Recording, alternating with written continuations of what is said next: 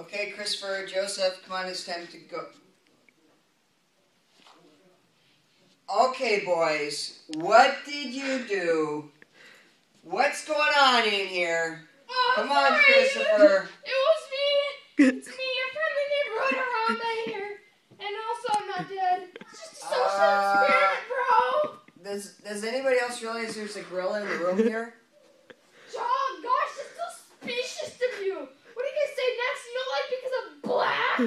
What are you, racist too?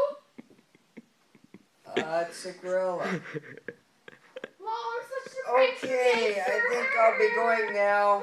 Bye. I'm such a